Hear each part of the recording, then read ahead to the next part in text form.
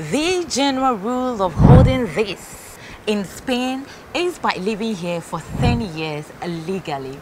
However, for some people, they can acquire the passport, the Spanish passport, between two years to five years. What about if I tell you there is one way to gain the Spanish citizenship just by living in Spain for one year? One year. I'm enjoying the Spanish sunny, beautiful day, and I just want to share this information with you. Stay tuned.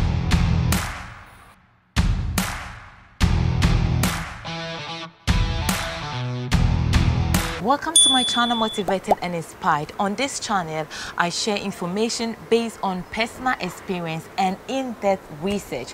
If I haven't done enough research, I'm not sharing it. If you want to know more on immigration, especially about Spain and in the UK, then please do make sure to subscribe to this channel. Now let's go straight into this method I'm talking about. I have lived in three different countries for long, Ghana, Spain, and in the UK. And I will always recommend and say Spanish immigration is one of the best and quickest. In fact, it is so safe to even say the gateway to Europe is through Spain. Now, in many countries, acquiring a country's citizenship can be really, really hard, even by marriage. In the UK, it is still five to six years to acquire this. But here in Spain, if you are married to a Spanish citizen in any part of the world and you live here in Spain for one year only, you are qualified to apply for the Spanish citizenship.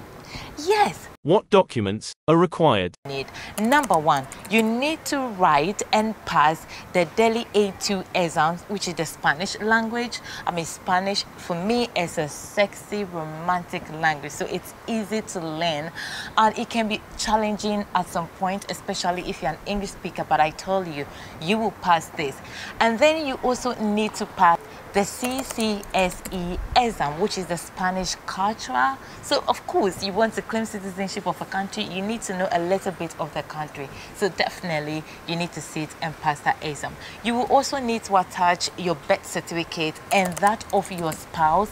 Then, you need to attach your passport which must be very valid at the time of submission. You also have to submit a background check on you, that is criminal background check on you.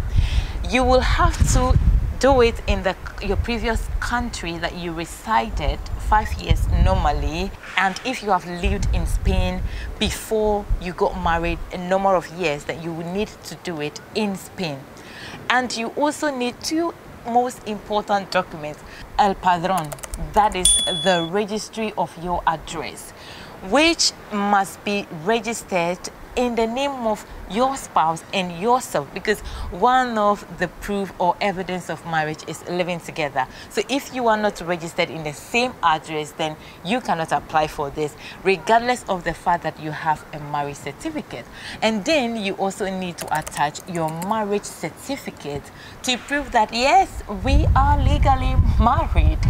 And like I mentioned earlier on, you can marry at any part of the world but when you are in Spain, you have to register the marriage in Spain. And that is the document you are going to use for this application. You also need to prove sufficient means of sustaining yourself. And you can do that by using um, your bank statement or your income, that's your salary income statement, and it must prove that you do have enough. How much is expected of you to have? You're supposed to have 150% of the IPREM, that is IPREM in this case, for me, it makes sense. 150% might seem a lot, but it does make sense. Why? Because it's a citizenship which has no expiring date. So I think it is really fair. The next document that you are being required to add to this application is your residency card. So when you get married, if you are not having um, residence before, then you will need to use your marriage, that is marriage certificate, to apply for a residency. So that's the first step.